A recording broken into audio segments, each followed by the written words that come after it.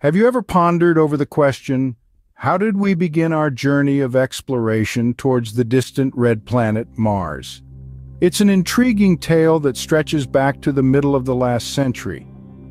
Our story begins in the 1960s, a time when space exploration was in its infancy. The first successful Mars mission was Mariner 4, a spacecraft launched by NASA in 1964. It was a flyby mission that took the first close-up photos of Mars, revealing a barren, moon-like surface. The 1970s saw the Viking missions. Launched by NASA, the two Viking landers were the first to touch down on Martian soil.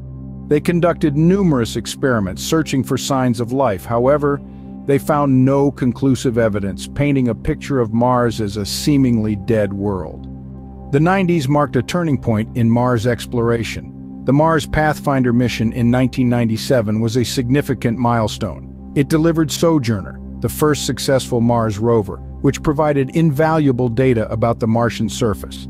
Fast forward to the 21st century, an era of unprecedented Mars exploration. The Mars Exploration Rover Spirit and Opportunity launched in 2003 exceeded all expectations, especially Opportunity which was operational for almost 15 years, covering a marathon distance on Mars and uncovering evidence of past water activity. Mars Science Laboratory's Curiosity rover, launched in 2011, took the baton from its predecessors. It discovered that Mars had the conditions necessary to support microbial life in the ancient past. The most recent and technologically advanced rover Perseverance touched down on Mars in 2021.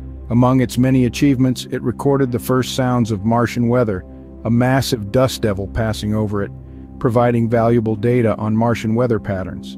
InSight, a lander mission that began in 2018, made significant discoveries about Mars's internal structure. However, it faced challenges, including dust accumulation on its solar panels that eventually led to a premature end to the mission in 2022. These missions have not only expanded our understanding of Mars, but also sparked a sense of community as people around the world anthropomorphize these spacefaring robots, attributing human qualities to them. From the engineers and scientists working on these missions to the general public, everyone feels a sense of connection and engagement with these Mars rovers. In summary, the journey of Mars exploration has been a roller coaster ride filled with ups and downs, successes and failures. It started with the first flyby mission in the 1960s, progressing to the Viking landers in the 70s, the Pathfinder mission in the 90s, and the numerous rovers of the 21st century. Each mission has contributed to our understanding of the Red Planet, making Mars feel a little less alien and a little more like a neighbor in our cosmic backyard.